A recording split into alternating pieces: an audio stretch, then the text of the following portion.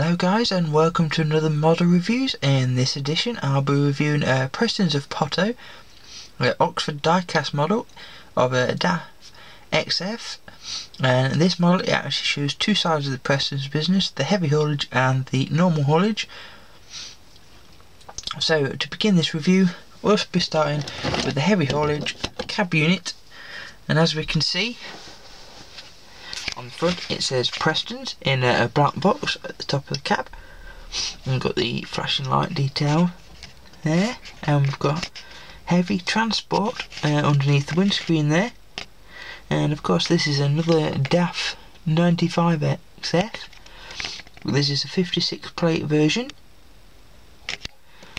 And this isn't just uh, red with white for the cab unit the side of the cab. Says Preston's of Potto we've got a number telephone number and we've got the website. We've also got a town name and Yorkshire. And like all the uh, Oxford models there seem to be uh, six axle uh, tractor units and triaxle trailers. Now onto the front of the trailer bit there. It is just a normal box one box trailer uh, with curtain strap. Uh, this is uh, trailer 731 and we've even got like a number plate with some sort of other Preston number. Now as we move along the side of the trailer it's in the recognisable iconic Preston's of Potto livery of yellow and red with black stripes, outlining stripes.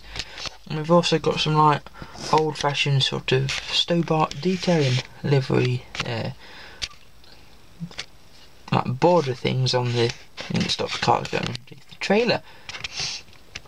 Now these are part of the same group haulage group as Jack Richards.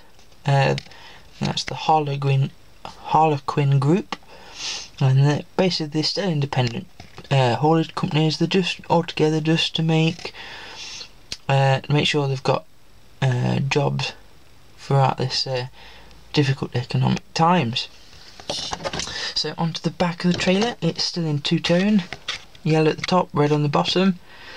And we've got Preston's of Potto again in red, outlined in black.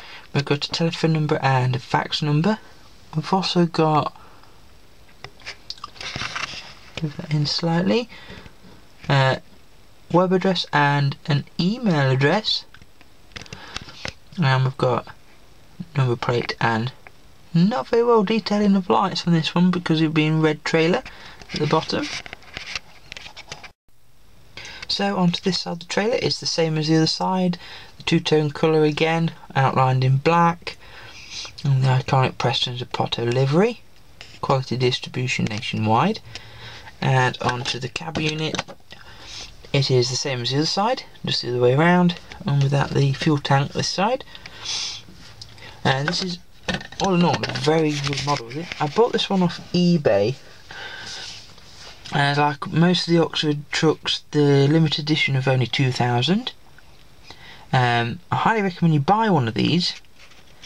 Uh, this will look nice on my new layout which is going to be of a brewery and I've already got a name for it. It's going to be called Butterwick Greens.